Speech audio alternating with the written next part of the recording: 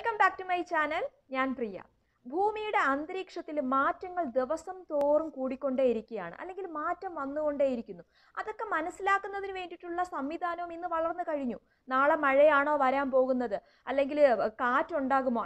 ഏത് തരത്തിലുള്ള കാറ്റാണ്? ചുഴലിക്കാറ്റാണോ? കത്രീനയാണോ? എന്നൊക്കെ ഡിഫറൻഷിയേറ്റ് ചെയ്ത് മനസ്സിലാക്കാൻ വേണ്ടിയിട്ടുള്ള സംവിധാനങ്ങൾ ഇന്ന് നമ്മുടെ സമൂഹത്തിൽ വളർന്നു കഴിഞ്ഞു. അതുകൊണ്ട് തന്നെ സാധാരണക്കായിട്ടുള്ള ജനങ്ങൾക്കും അതൊക്കെ മനസ്സിലാക്കുന്നതിന് വേണ്ടിയിട്ടും സാധിക്കുന്നുണ്ട്. ബട്ടർഫ്ലൈ എഫക്റ്റിനെ കുറിച്ച് നിങ്ങൾ കേട്ടിട്ടുണ്ടാകുമല്ലോ. അപ്പോൾ ഈ പറയുന്ന ബട്ടർഫ്ലൈ എഫക്റ്റിന്റെ ചരിത്രം എന്താണ്? ബട്ടർഫ്ലൈ എഫക്റ്റും കാലാവസ്ഥ വ്യതിയാനങ്ങളും എങ്ങനെ ബന്ധപ്പെട്ട് കിടക്കുന്നു എന്നുള്ളതിനെ കുറിച്ചിട്ടാണ് ഇന്ന് നമ്മൾ സംസാരിക്കാൻ പോകുന്നത്. അപ്പം നമുക്ക് നേരെ വീഡിയോയിലോട്ട് പോവാം. ഒത്തിരി അധികം പരീക്ഷണങ്ങൾ നടത്തുമ്പോഴായിരിക്കും ഒരു കണ്ടുപിടുത്തം ഉണ്ടാകുന്നത്.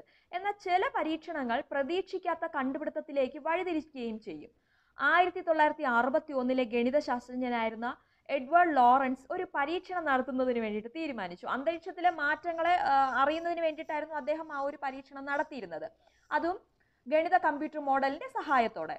ഈ ഈ പരീക്ഷണം എന്ന് പറഞ്ഞു കഴിഞ്ഞാൽ ഒരു പ്രത്യേക മാസത്തെ അല്ലെങ്കിൽ ഒരു പ്രത്യേക സമയത്തെ അന്തരീക്ഷത്തിലെ മർദ്ദം കാറ്റിന്റെ വേഗത ഇങ്ങനെയുള്ള ഡേറ്റാസ് എല്ലാം കളക്ട് ചെയ്ത് ഇനി വരാൻ പോകുന്ന മാസത്തിലുള്ള അന്തരീക്ഷത്തിന്റെ മാറ്റങ്ങളെ അല്ലെങ്കിൽ വ്യതിയാനങ്ങളെ മനസ്സിലാക്കുക എന്നതായിരുന്നു ഇതിന്റെ ഉദ്ദേശം.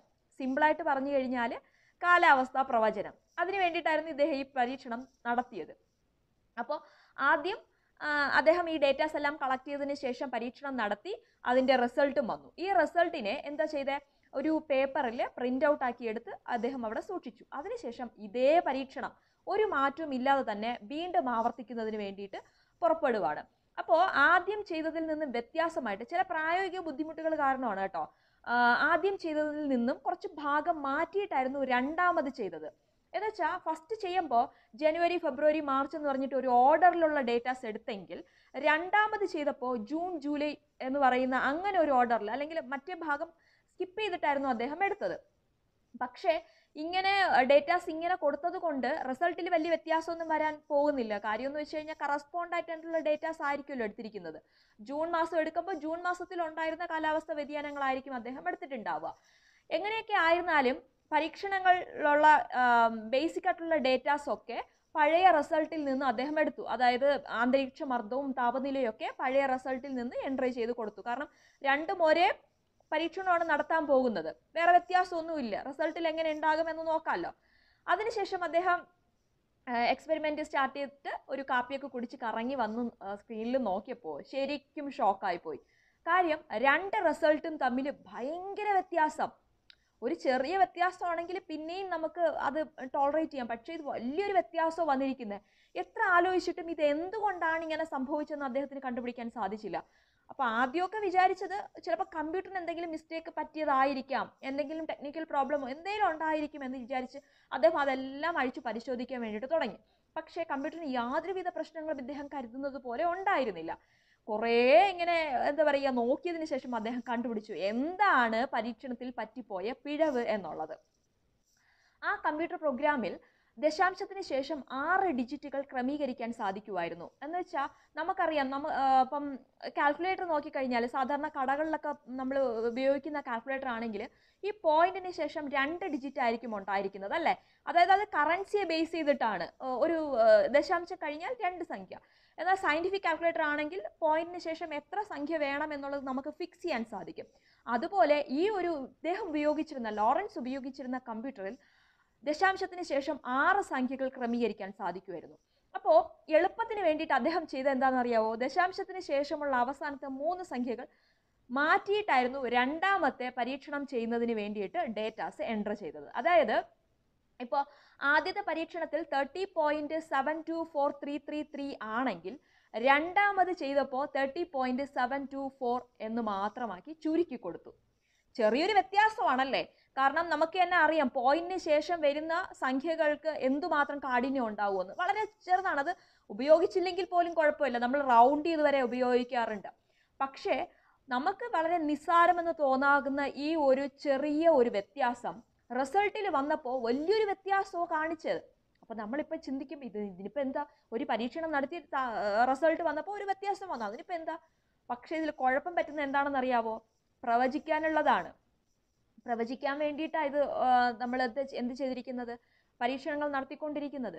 പരീക്ഷണം ഈ പ്രവചിക്കാൻ നേരം ഡേറ്റാസ് കൊടുക്കാൻ നേരം ഇങ്ങനെ ഒരു ചെറിയൊരു പിഴവ് പറ്റിക്കഴിഞ്ഞാൽ പ്രവചിക്കുമ്പോൾ നാളെ മഴ വരും. അല്ലെങ്കിൽ നാളെ കൊടുങ്കാറ്റ് വരും എന്നായിരിക്കും. പക്ഷേ യാഥാർത്ഥ്യം അതായിരിക്കത്തില്ല. അല്ലെങ്കിൽ നാളെ യാതൊരുവിധ പ്രശ്നവും ഇല്ല ശാന്തമായിരിക്കും കാലാവസ്ഥ എന്നായിരിക്കും നമ്മൾ പ്രവചിക്കുന്നത് പക്ഷേ റിയാലിറ്റി അങ്ങനെ ആയിരിക്കില്ല. അങ്ങനെ ഒരു വലിയൊരു കുഴപ്പം വരാൻ വേണ്ടിയിട്ട് ഒരു ചാൻസ് ഉണ്ട് ഈ ഒരു പരീക്ഷണത്തിൽ. പക്ഷെ അദ്ദേഹം മറ്റൊരു കാര്യം ഈ പരീക്ഷണ മുഖേന കണ്ടെത്തി. അത് കയോ സിദ്ധാന്തം എന്ന് പറയുന്ന കണ്ടുപിടുത്തമാണ്. ഇത് വേറൊന്നുമല്ല ഇതിന്റെ അർത്ഥം ചിട്ടയില്ലാത്തത് ക്രമമില്ലാത്തത് എന്നൊക്കെയാണ്. ഈ സിദ്ധാന്തം അനുസരിച്ച് അന്തരീക്ഷത്തിൽ ഉണ്ടാകുന്ന ചെറിയ വ്യതിയാനങ്ങൾ പോലും ഭാവി പ്രവചനത്തെ സാരമായി തന്നെ ബാധിച്ചേക്കാം എന്നുള്ളതാണ്. അപ്പോൾ ഇതുമായിട്ട് ബന്ധപ്പെട്ട് അല്ലെങ്കിൽ ഇതുമായിട്ടുള്ള ഒരു ആശയം അദ്ദേഹം മുന്നോട്ട് വെച്ചതായിരുന്നു ബട്ടർഫ്ലൈ എഫക്റ്റ് എന്ന് പറഞ്ഞ അതായത് ബട്ടർഫ്ലൈയുടെ ചിറകടി നമുക്കറിയാലോ എന്തുമാത്രം ലോലമായിരിക്കും. അങ്ങനെയുള്ള ചെറിയ ചിറകടിക്ക് പോലും അങ്ങനെയുള്ള ഒരു വ്യതിയാനത്തിന് പോലും അന്തരീക്ഷത്തിൽ വലിയ മാറ്റങ്ങൾ ഉണ്ടാക്കാൻ സാധിക്കുമെന്ന് അദ്ദേഹം കണ്ടുപിടിച്ചു. എന്നുവെച്ചാൽ അദ്ദേഹം അതിനെ ആധികാരികമായിട്ട് പറഞ്ഞത് ബ്രസീലിൽ ഒരു ശലഭം ചിറകടിച്ചു കഴിഞ്ഞാൽ അമേരിക്കയിൽ കൊടുക്കാറ്റ് വരുമെന്ന് അദ്ദേഹം അതിനെ ഒന്ന് ഡെക്കറേറ്റ് ചെയ്ത് പറയുകയുണ്ടായി. അതിന്റെ അർത്ഥം വേറൊന്നുമല്ല അത്രയ്ക്ക് ലോലമാണ് അന്തരീക്ഷം എന്ന് പറയുന്നത്. നമ്മുടെ അന്തരീക്ഷം എന്ന് പറഞ്ഞാൽ അത്രയ്ക്ക് സെൻസിറ്റീവ് ആയിരിക്കും.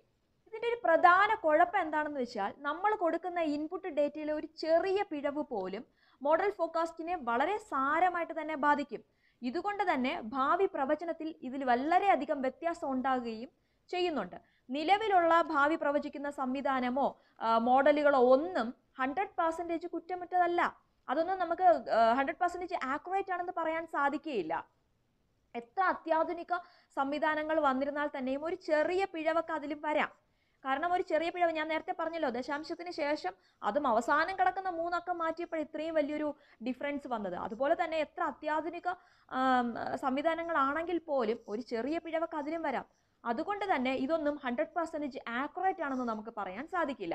പിന്നെയും അദ്ദേഹം പറയുന്നുണ്ട് നമ്മൾ ഉപയോഗിക്കുന്ന സംവിധാനങ്ങൾ രണ്ടാഴ്ചയിൽ കൂടുതൽ ആക്യുറേറ്റ് ആയിട്ട് നിൽക്കില്ല. രണ്ടാഴ്ചയ്ക്ക് ശേഷമുള്ള പ്രവചനം അത് യൂസ്ലെസ് എന്നാണ് പറയുന്നത് അത് അത്രയും ആക്യുറേറ്റ് ആയിട്ട് നമുക്ക് കണ്ടുപിടിക്കാൻ സാധിക്കില്ല എന്നും പറയുന്നുണ്ട്. ഇത്രയൊക്കെ നമുക്ക് അറിയാമായിരുന്നെങ്കിലും അല്ലെങ്കിൽ ഇതൊക്കെ നമ്മൾ പഠിക്കുന്നവരാണെങ്കിൽ പോലും എന്തെങ്കിലും ഒരു ചെറിയ കാലാവസ്ഥ എന്താ പറയുക വ്യതിയാനം വന്നു കഴിഞ്ഞാൽ കാലാവസ്ഥ പ്രവചിക്കുന്നതിൽ നിന്നും വ്യത്യാസം വന്നു കഴിഞ്ഞാൽ നമ്മൾ ഉടനെ അവരെ കുറ്റം പറയും അല്ലേ? ഇവരെന്തിനാണ് അവിടെ ഇരിക്കുന്നത് എന്നൊക്കെ. പക്ഷെ ഇങ്ങനെയുള്ള കാര്യങ്ങളൊക്കെയും നമ്മൾ മനസ്സിലാക്കണം.